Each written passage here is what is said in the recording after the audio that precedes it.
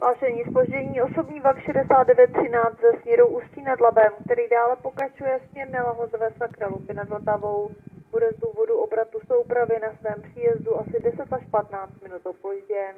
Osobní vlak směr Kralupy nad Vltavou, Praha Masarykovo nádraží bude na svém příjezdu asi 10 až 15 minut opožděn. Předpokládané spoždění se může změnit, za komplikace se omlouvají české dráhy.